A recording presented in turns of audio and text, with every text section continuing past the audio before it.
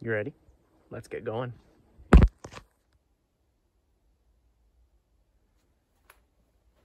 So originally I was a little scared of using something along those lines.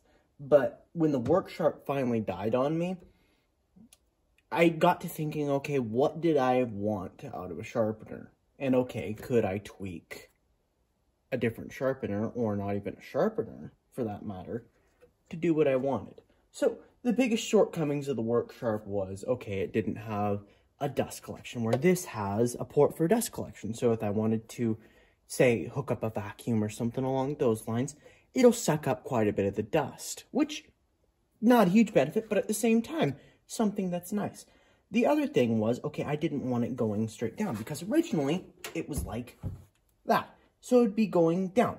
I don't want a knife going straight down and possibly hitting me in my, uh, think, uh, femoral artery, if I'm correct. Correct me if I'm wrong. I forget which one the one's in your leg. But, yeah. So, built the frame, mounted it to the frame, also had to cut out a little hole for the adjust for the uh, tensioner as well as the adjustment screw. So just minor things to get it where I wanted it. The other thing was an angle guide because I like to be able to reference and go, okay, this is 100% 20 degrees because you get knives every once in a while that somebody's done some weird tweaking to. I just like it as a nice reference point. It's not needed. Ultimately, I can sharpen without it, but at the same time, I like to have it because it's a peace of mind thing for me. So, after doing that, I sharpened the knife and was like, okay, what's wrong here? So, I have that knife just in general, and thought I lost this knife, but I'm very glad I didn't. I thought it got stolen many years ago when my truck got stolen. But Thankfully, it wasn't in my truck. This is probably one of my favorite knives. I know not very special knife, but at the same time, one of my favorite knives. So, put an edge on this, and mind you, probably one of the cleanest edges I have ever done. I'm, like, unbelievably impressed with the results I get out of this thing. So, put an edge on it, went to go do paper, and it didn't slice. So I'm like, okay, what's going on here? So, went and took out there's a level app in your phone, or at least most ones. I have an iPhone, so for me, that was something that I did. So set it on the plate and looked on the side, so it's got gradients for all the different angles. So it's got 10, 15, 20, 25, 30, 35, 40, 45.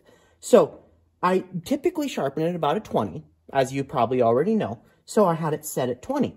So put the level on there to see, okay, what it actually, the angle was. So leveled it off the base for the flat and then put it up there to see, okay, what angle. I was sharpening at a 30 degree angle. So no wonder it was having a hard time. Like, it's still cut through paper and will take hair off your arm and all that kind of stuff. But it was just, it wasn't doing what I thought it was. So I was curious if it was the abrasives, which not the case even slightly. So went, found where 20 degrees is and put a little Sharpie mark just so I have it for a reference for myself and sharpen a knife. By far, I don't know how I didn't go to this sooner. I wouldn't recommend it as far as a beginner setup, but at the same time, it's like once you get that practice and muscle memory, this makes that process so much smoother. The belts are just a little bit more expensive, but you're also getting, I mean, 18 versus 30 inches, you're getting 12 inches more of actual belt for a dollar. I mean, and that's the super premium belts. So there's things like Trizact belts or Cubitron belts and even ceramic belts. But I mean, these ones were really cheap. I just wanted a set so I could actually do a few sharpenings until I could get the Cubitron ones because they're a little harder to source. But for 13 bucks and three sets of each, so it was uh, three at 320, three at, I believe, 400 if I'm correct, three at 600, three at 800, and three at 1,000. So, if anything, they get me a few sharpenings. I'm okay with it. But getting that muscle memory with the work sharp was definitely a great learning curve. And then also figuring out how to tweak this to make it do what I needed it to do. If I hadn't had the practice with the work sharp, this would have been an astronomical nightmare. So I'm glad I could address a lot of the shortcomings of the Work Sharp, like larger motor. It may move faster, but at the same time, the problem I was having with the Work Sharp was the variable speed was failing. So it would kind of go, go up in RPM, down in RPM, up in RPM, down in RPM. And it, you just couldn't keep a consistent edge. So I corrected that because, okay, I'd just stop and wait for it to level out and go. But this, this is one speed. It's a little fast, mind you, but using super, super, super light pressure, I can do it significantly quicker than the work sharp and no heat buildup. So I am immensely happy with this. And I mean, it just took a little bit more. Like, that's a really good setup if you basically just want something that you pick up and sharpen. But for someone like me that doesn't mind adjusting things, making it better, that kind of stuff. I mean, this, when I went to Harbor Freight, it's 60 bucks for the 1x30 sander. And the guy asked me, hey, do you want to pay 10 bucks? And in one year, you get a brand new sharp, well, you get a brand new belt sander. I mean, in all honesty, absolutely. I mean, versus the Work Sharp, Work Sharp's 200 bucks for that full setup. This, 60 bucks, and okay, like if in a year I just want an upgrade to their newest model, I just take this one in, go get a new model, mount that right to here, and get going. But I I won't go back to the Work Sharp. I mean, it was a great progression, and I'm glad I have that. I've got different ideas for a bench sharpener, but as far as a mobile sharpener that I can stick in the back of my truck, run on the tailgate, all that kind of stuff, this is, for me, unmatchable. And the other thing I did, because, okay, it's a wood base. It's going to start wobbling around, especially you put it in the back of the truck. I had a rubber mat for just general cleaning and that kind of stuff. So I glued that to the bottom of this thing. And I can set that on the tailgate of my truck and it will not move a muscle. It is so solid as opposed to the work sharp I had mounted to a Milwaukee pack out so that, okay, I could just set it down, but it's still like if I was to put a little bit of pressure, it would move around. This thing won't move around. It's really, really, really nice. I am very happy with this. It just took a lot of fine tuning and then also having the knowledge that I have to adjust for like the angle guide being incorrect or how to get it horizontal because that, I mean, not necessarily a hard thing, but at the same time, it was more just doing it. Sometimes that's our biggest problem is thinking, well, let, well not even thinking, overthinking and going, hey, I could do this, I could do this, I could do this, I could do this. Sometimes it's just better to start moving. So with this, I bought the, I was talking to my buddy and I'm like, yeah, no, I was thinking of buying a, I was at Harbor Freight and was like, yeah, I'm thinking of buying a 1x30 motor and adapting it to the original Work Sharp.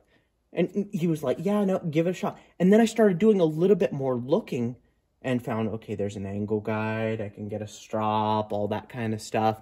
The belts were just a little bit more expensive, but cost per belt was like not measurable. It makes way more sense running the 1 by 30s.